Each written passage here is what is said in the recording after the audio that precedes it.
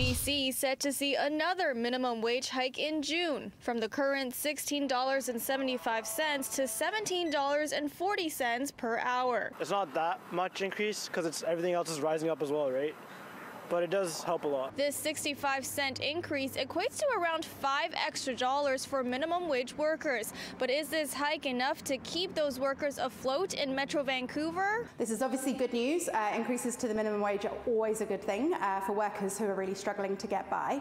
But the reality is that there's still an $8 gap between the minimum wage and the living wage, which is what it costs to actually get by. The current living wage in Vancouver, calculated to cover essential services like food, rent, and childcare is $25.68 an hour. The proposed wage would still leave minimum wage workers around $15,000 behind. Do they pay for gas this week? Do they pay for groceries this week? Um, do they cut back on their heating? Do they cut back on their food? How do they, how do they manage to get by? Um, and it's difficult decisions that low wage workers are having to make every single day. So everything's just super expensive. So living wage at least needs to match the living wage for people to live, but obviously that causes different issues, different uh, economic concerns, right? I think they should increase a little more. At least they should make it 19 to 20 dollars an hour. I think if that, then it's really helpful for me personally. In the meantime, employers worry that this increase will further offset their costs of doing business. This is yet another unexpected cost in the face of so many different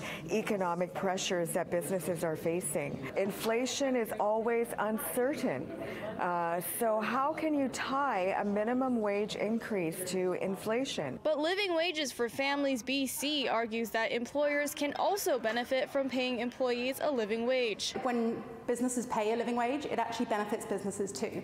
Um, it reduces staff turnover, it helps with retention, but actually the vast majority of minimum wage workers in the province are working for large multinational companies that can definitely afford these pay increases. Even before this increase, BC had the highest minimum wage of Canadian provinces, followed by Ontario with $16.55 per hour.